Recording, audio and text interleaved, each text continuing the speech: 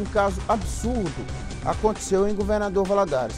Um homem de 32 anos, ele ameaçou a mãe, pegou o documento de medida protetiva solicitado pela Polícia Civil à Justiça e fez no papel uma espécie de cigarro para fumar maconha.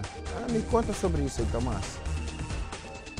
Ô Nico, esse caso aconteceu lá no bairro Santa Helena, Rua Juiz de Fora, bairro onde a gente conhece, conhece muito bem, tem vários amigos e também onde já cresci, foi minha infância passada, boa parte no bairro Santa Helena. Infelizmente esse caso foi registrado, Nico, porque esse homem, segundo informações, a polícia descobriu que ele já tinha uma medida protetiva. A mãe dele, de 55 anos, mantinha essa medida protetiva em casa, ele não poderia chegar próximo a ela, nem mesmo dentro da casa. Segundo informações, na noite de ontem, ele chegou, aliás, ontem né, ele chegou e ameaçou essa mulher de 55 anos, pegou a medida protetiva, o papel da mão dela, disse que enrolou um cigarro e falou com ela que se ela contasse alguma coisa ou confiasse tanto naquela medida protetiva, né, às vezes ele achou que era só um papel, né, mas não é assim não.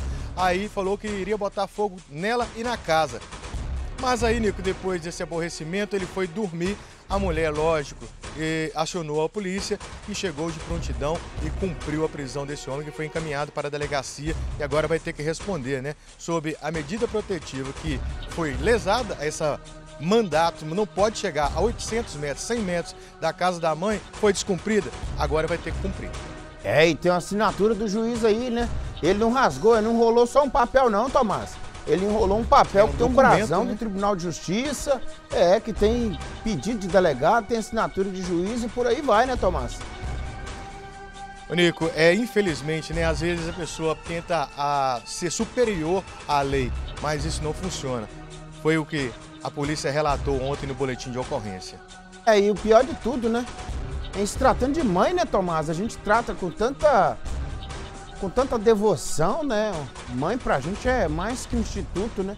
É quase que uma divindade, né? Mãe é. Verdade. É, mãe é um ser supremo. Que é isso? Não brinca com essas coisas, não, misericórdia.